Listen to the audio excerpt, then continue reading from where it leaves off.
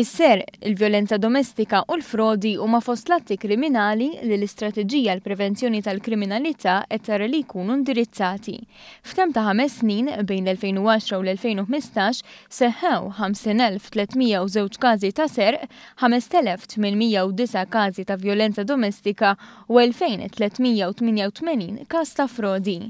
L-aktar tip ta' serq komuni kien il-pickpocketing, tant li bejn l-2010 u l-2015 kien hemm 7,546 każ.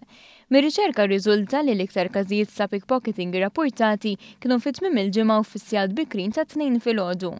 Il-lokalità ta' San Ġiljan kienet l-aktar waħda li esperjenzat pickpocketing, segwita minn Tas-Sliema, l-Belt Valletta u San Pawl il-Baħar.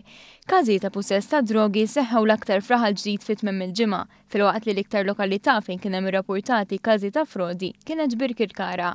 Iżda riċerka turi wkoll li 87% ma jirrapportawx każ ta' frodi lill-pulizija. Fil-każ ta' vjolenza domestika, ix-xenarju huwa mod ieħor, hekk kif l-att ma jsebixxix xi tip ta' rutina partikolari, Dan għaliex kollox jiddependi mill-vittmi nfushom li jirrealizzaw huma jekk kinux vittmi ta' vjolenza domestika jew le.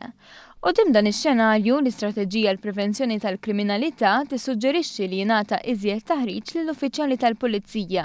Tissuġġerixxi wkoll li tissaħħaħ ir-relazzjoni bejn il-pulizija u l-komunità billi jqattgħu iżjed ħin ma' residenti u li l-pulizija nfushom jgħaddulhom informazzjoni permezz ta' laqgħat formali.